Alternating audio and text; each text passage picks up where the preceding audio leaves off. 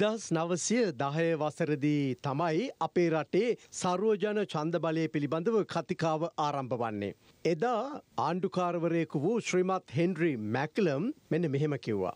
ඔහු පවසනවා ශ්‍රී ලංකාවට මේ වෙලාවේ සරෝජන චන්ද බලය දුන්නොත් ස්තිර වශයෙන්ම ශ්‍රී ලංකාවේ පාලනය පවුල් කිහිපයක් අතට පත්වෙනවා කියලා. ඒක අනිවාර්යෙන්ම සිද්ධ වෙනවා කියලා එක්දස් නවසේ දාහේදී විතර තමයි ශ්‍රීමත් හෙන්රී මැක්ලම් පැවසුවේ. ඇතරම අපට එක්දහසන්සි හතලි සටේ නිදහස ලැබුණට පසුව සිද්ධ වුණේ ඒකම නේද. අපේ රට පවුල් කීපයක් පාලනය කරලා තිබෙනවා. බණ්ඩාර්නායක පවුල. ජයාර් ජාවර්ධනගේ බෑන කියලගත් හම රනිල් වික්‍රමසිංහත් යම් කිසි පවුලකට අයත් වෙනවා. එතනත් පවුලක ස්වභාවේ දක්නට පිළිවන්. ඉළඟට රණසිංහ ප්‍රේමදාස. අද සජිත් ප්‍රේමදාස. එළඟට රාජපක්ෂ පවුල. මහින්ද රාජපක්ෂ ගෝටාබේ රාජපක්ෂ බැසිල් රාජපක්ෂ චමල් රාජපක්ෂ ශශීන්ද්‍ර රාජපක්ෂ නාබල් රාජපක්ෂාදී වශයෙන් රාජපක්ෂ පවුල. මේ තම එදා ශ්‍රීමත් හෙන්රි මැකලම් දුටු පවුල් පාලනය. පවුල්වලට බලේගයා කියලා මේ රටට අත්තු සුගතිය කුමක්ද කියලා ප්‍රශ්න කළ යුතුයි. තට්ටුමාරු ක්‍රමයට පක්ෂ දෙකකට හෝ තුනකට එමත් නැත්නම් ප්‍රධාන පක්ෂ දෙකක් එක්ක හදාගත් හවුල් පක්ෂවලට තට්ටුමාරු ක්‍රමයට බලය දුන්නා. මොකක්ද වුණේ ඇත්තටම. අදත් අපේ රට දුප්පත්. දුප්පත්කම නැති කරනවා වෙනුවට මේ හැම පවුලක්ම මේ හැම පක්ෂයක්ම තට්ටු මාරු ක්‍රමය යටතේ මොකක්ද කළේ දුප්පත්කම නඩත්තු කලා. හරි වචනය දුප්පත්කම නඩත්තු කිරීම. ජනසවිය සමුෘද්ධිය රුපියල් පන්දහේ මේ හැම දෙයක්ම දුප්පත්කම නඩත්තු කලා මිස දුප්පත්කම නැති කරන ව්‍යාපෘති වුණේ නැහැ. හාල් නොමිලේ දුන්න තැන ඉඳලා ඇටාටක් දෙන්න කරපු යෝජනාවිඳලා එස්සියල්ලෙම්ම සිද්ධ වනේ දුප්පත්කම නඩත්තු කිරීම පමණයි. මේ දුප්පත්කම නඩත්තු කිරීමට අමතරව අපේ රට මේසා විශාල අගාධයකට ඇද වැටුනේ දූෂණය සහ නාස්තිය ඉහවාගේ නිසා. උදහරණ අරම්බලමු නෙළුම් කුළුණ නෙළුම් පොකුණ වගේ ස්ථාන හදන්න වේදම් කරපු අපි අරගත්ත ණය තව අවුරුදු 15ක් 20ක් විතර ගෙවන්න ඕනේ. රටට ලැබුණු ක්ෂණික ලාභයක් නැහැ. නමුත් අධිවේගී මාර්ග පද්ධතිය අගය කළ යුතුයි. ඒකයි ණයට ගන්න සල්ලි වලින් ප්‍රතිලාභ ලැබෙන දේවල් කළ යුතුව තිබෙන්නේ. ඇත්තටම අපේ රටේ මේ විදිහට දූෂණය සහ නාස්තිය වැඩිවෙන්න එක් හේතුවත් තමයි රටේ මූල්‍ය බලය තියෙන තැන නෙවෙයි මූල්‍ය තීන්දු ගන්නේ. රටේ මූල්‍ය බලය තියෙන්නේ පාර්ලිමේන්තුවට. නමුත් කැබිනෙට්ටු අනුමත කලා කියලා පාර්ලිමේන්තුවට දාලා අතයට ගේම් ගහපු ව්‍යාපෘති මොන තරම් තියෙනවද. ඉළඟ කාරණය එංගලන්තේ ඇමරිකා වගේ දියුණු රටවලත් නැති මැති ඇමති වරප්‍රසාද.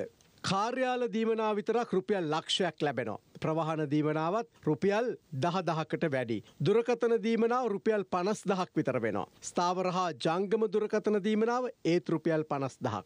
නිදහස් තැපැල් දීමනාව රුපියල් ලක්ෂ තුනක් විතර වෙනවා. රේදුරු හා සංග්‍රහදීමනාවත් රුපියල් හර්දහස් පන්සීයයි. පාර්ලිමේන්තු රැස්වීමකට සභාගවීම තමයිතින් ඕකට තෝරලා යවනායගේ යුතුකම වෙන්නේ වෙන මොකට දෙයවන්නේ. පාර්ලිමේන්තු රැස්වීමකට සහභාගවීම වෙනුවෙනුත් දිනකට රුපියල් දෙදස් පන්සියක් ගෙවනවා. එකැනෙ මසකට අවම දින අටක් මේ රැස්වීම් වාර්වලට ආවොත් රුපියල් විසි දහක් ලැබෙනවා. රැස්වීම නොපැවැත්වෙන දිනවලට මේ කාරක සභහ රැස්වීම්වලට සභාග වුණාමත් දිනකට රුපියල් දෙදස් පන්සියක් ලැබෙනවා. එහෙම කාරක සභාදින පහක් විතර තියෙන ඇතකට රුපියල් දොළොස් දස් පන්සීයක්. සම්බන්ධි කරන ලේකම්වරයට පෙට්‍රල් ලීටර් දෙසිය දහටක් වෙන රුපියල් දාහත් දහස් හාරසිය හතලිහක් ලැබෙනවා. අමාත්‍ය කාර්ය මණ්ඩලට වහන පහක්. සාමාන්‍ය නියෝජ්‍යමති කාර්යමණ්ඩලයට වාහන තුනක්. විශේෂයෙන් මෙහිදී සම්බන්ධි කරන ලේකම් හා පුද්ගලික ලේකම් තනතුරුවලට තම පවුලේ සාමාජිකින් සමීපතිමින් පත් කරගන්න පුළුවන් බිරින්ද දරුවන් සහෝදරයින් පත්කරගෙන ඔවුනට ගෙවන වැටු වරප්‍රසාද තම පවුලටම ලබාගන්න පුළුවන්. එම නැත්නම් අනියම් පවුලකටනත් ලබාගන්න පුළුවන්. කාර්ය මණ්ඩලයේ ඉහළ තනතුරුවල වැටුප අඩුම ගාන රුපියල් තිස් දහක් වෙනවා. ඉන්දන දීමනා සහ දුරකතන දීමනත් මේ තනතුරුවලට ලැබෙනවා. මීට අමතුරව වැදගත්ම දේ තමයි අද්දී දී සුකෝපභෝගී වාහන මිලදී ගැනීම සඳහා තීරුබදු රහිත බලපත්‍ර හිමිවීම. ලක්ෂ තිහකට හතලිහකට මිලදී ගන්න වාහනයක් විකුන්ලදාන්න ලක්ෂ දෙසිය පණහකට විතර. මන්ත්‍රීවරයෙකු හදිසිය හෝ ත්‍රස්ත ප්‍රහාරයකින් මියගෙවිට ලක්ෂ පණහක වන්දයක් රජය ගෙවනවා. ඊට අමතරව තවත් මන්ත්‍රී රක්ෂණයක් තියෙනවා ලක්ෂ විස්සක. මිට අමතරව සුකෝපභෝගී නිල නිවාස අයිති වෙනවා. පාර්ලිමේන්තුව උදේ සහ දහවල් සුපිරි ආහාරයට ඇත්තට මය කරන්නේ රුපියල් එකසිය පණහයි. අද අපේ රටේ දුප්පත් මිනිහෙක් සාමාන්‍ය බත් පැකට් එකක් එලවලු දෙකක් හෝ තුනක් එක්ක බිත්තරයක් දාලා ගන්න රුපියල් දෙසිය අසුවක් විතර ගෙවනවා. වසර පහකට පසු විශ්‍රාම වැටුප. අපේ රටේ ගුරුවරු අවුරුදු තිහ හතලිහ කඹුරලා තමයි විශ්‍රාම වැටුප ගන්නේ ඒකත් පෝලිමේ ඉන්න ඕනේ. කොළඹ ප්‍රධාන පෙළේ පාසැල්වලට දරුව ඇතුල් කරගන්න පුළුවන්. VIP විදේශ සංචාර ගුවන් ටිකට් පත් ඉහළ පෙළේ හෝටල්වල ඉඳුම් හිටුම් සහ සංචාර සඳහා විශේෂ දීමනාවකුත් ගෙවනවා. මීට අමතරව පත්වන රජය ගම්මටමින් ලැබෙන ව්‍යාපෘති ප්‍රදේශයේ මන්ත්‍රීවරුන්ට ලබාදීලා ඒවත් ඉතින් බොහෝ වෙලා වෙලාවට හින්සීරුවේ ගහන අතයට ගැහිලි. මෙයාකාරයට මහජන චන්දයෙන් තේරී පත්වන දෙසිය විසිපස් දෙනා නඩත්තු කරනවා කියන එක දැන්තේරනවාද මොනතරං අමාරුද කියලා. ඇත්තටම දැන් මේ නාස්තිය සහ දූෂණය නතර කරන්න ඕනේ. තවත් මේ රටට මේ නඩත්තුව දරන්න බැහැ.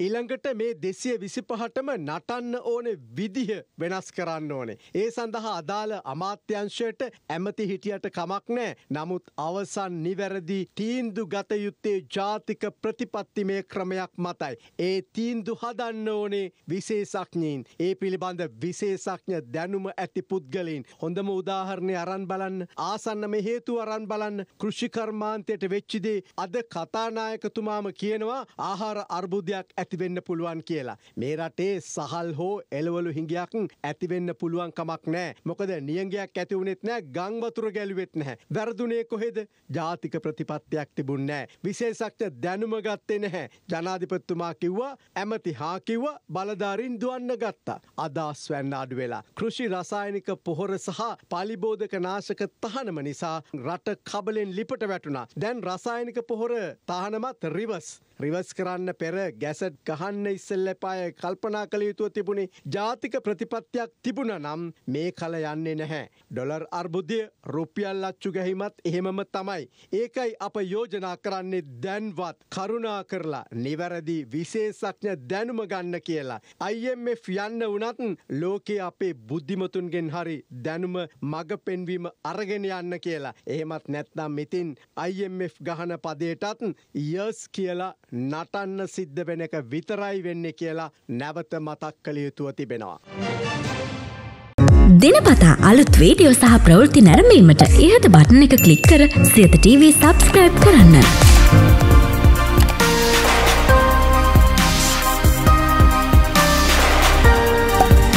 අලුත් වීඩියෝ ගැන මුලින්ම දැනගන්න මෙම සීනුව කලික් කරන්න.